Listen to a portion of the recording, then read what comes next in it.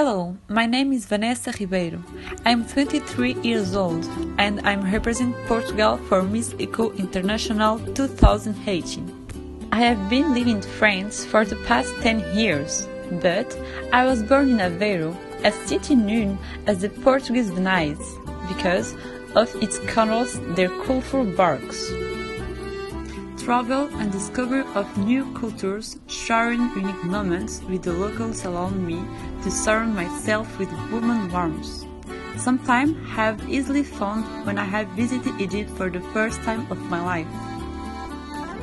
The country supply left marks on me, in view of the Memphis scenery, its colors, its historical monuments, and the spark on the Shilon eyes.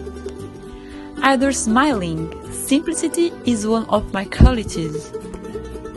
I love nature and animals as well sports that I do with passion. The honor of becoming Miss Eco International 2018 will give me the chance to involve myself more on humanitarian and ecological cause and try to make the world greener for the future generations the honor of becoming Miss Eco International 2008 will give me the chance to involve myself more humanitarian and ecological cause and try to make the world greener for the future generations. Thank you and see you soon. Bye.